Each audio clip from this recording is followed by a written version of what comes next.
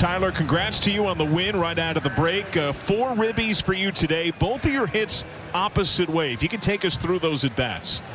I knew y'all were going to say that to me, by the way. But, um, nah, man, it's just, I, I, told myself coming back in the second half, just, you know, put in the work and have fun and, uh, you know, let the games play out and just, you know, be in the moment, not try to do too much, you know. And uh, I like RBIs. So uh, just, man, just time to be on time and square the ball up. And uh, I think it got contagious tonight. Uh, that triple as it sailed into the gap, you thinking three right out of the box? Um, when I when I saw him lay out for it like that, um, it, it, crossed my mind, but as I was coming around second, I know that Solano's behind me, and he uh, they call him Donnie Barrel, so I know he's going to put the barrel on. I was like, I got to get to third with one out. So. I love the passion that J.R. House has coaching at third base. The way he welcomed you into that bag.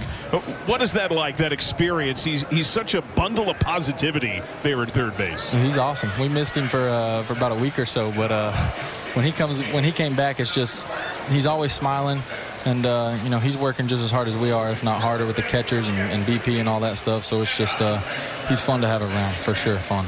Uh, one of the downsides is with catching Tyler Stephenson, the unfortunate injury. We got word upstairs of a broken collarbone suffered by Stephenson. W what was it like in the dugout? In the wake of that, what does that mean to your team?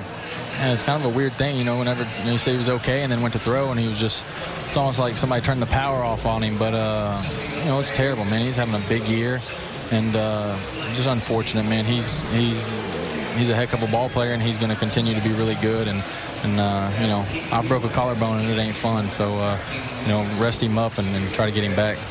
Oh, great job by you tonight. Hopefully Stephenson back sooner than later. Congrats on the win. Yeah, thank you, guys.